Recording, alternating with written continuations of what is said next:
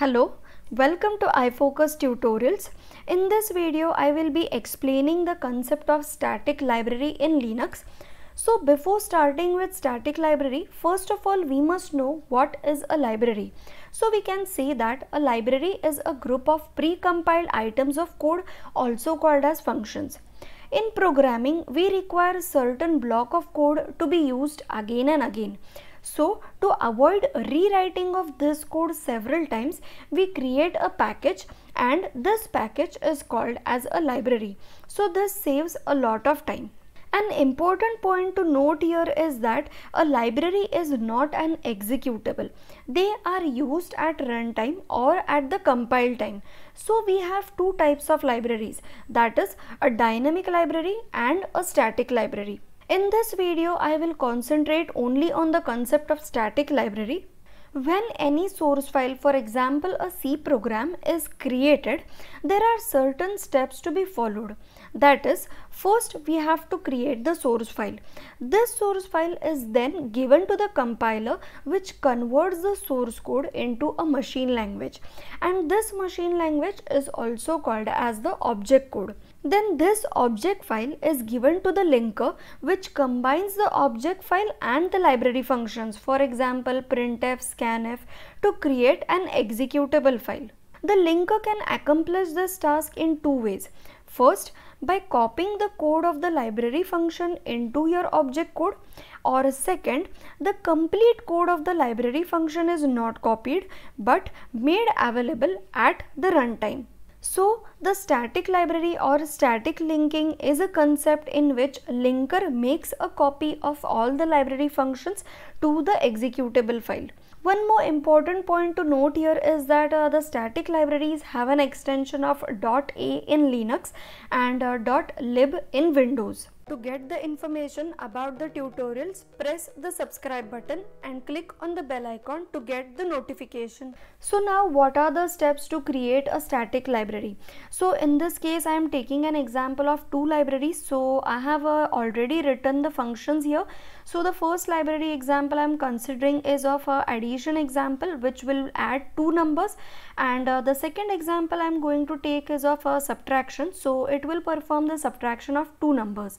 So after writing these functions, first of all, we must create uh, the object files for uh, these uh, two functions.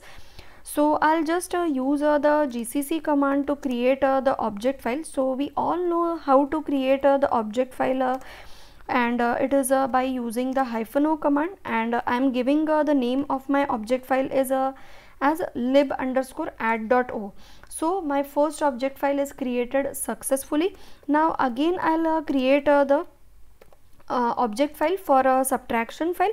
That is um, I have given the name as uh, lib underscore sub dot c again hyphen o uh, lib underscore sub dot o. Okay so both my object files have been created now while creating a static library we will group all these object files in a single library.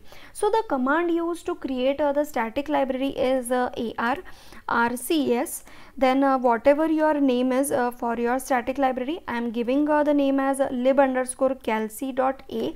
I have already told that uh, the static library has an extension of dot a. And uh, it is a good programming practice to mention the name of the static library as lib underscore. Or uh, it can start with lib. So it is uh, easy for you to recognize what is a static library.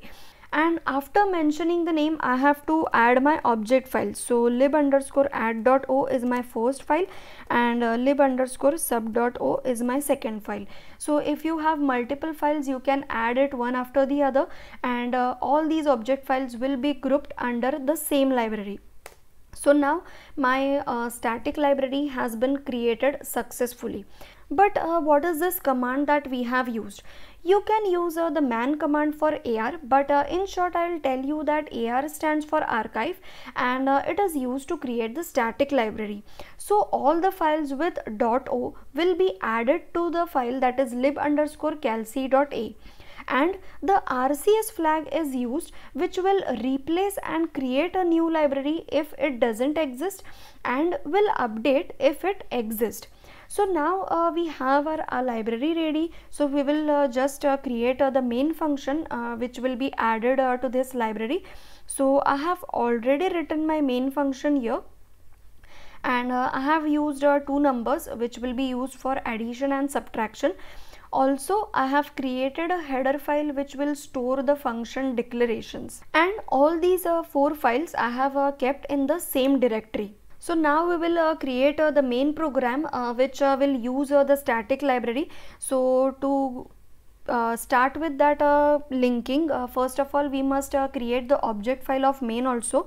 So gcc hyphen c main.c hyphen o main.o.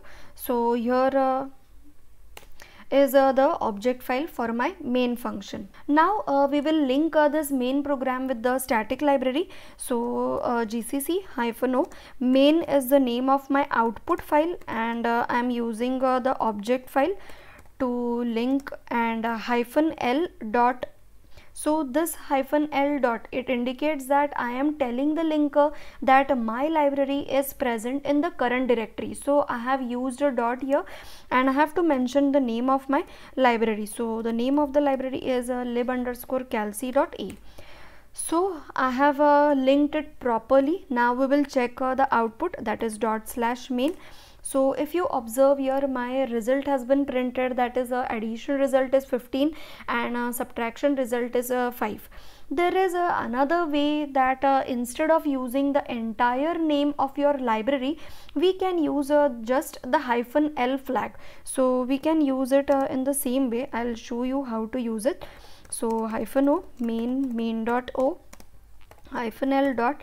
And uh, here before mentioning uh, the entire name what I have to use? Hyphen hyphen small l and uh, then my library name.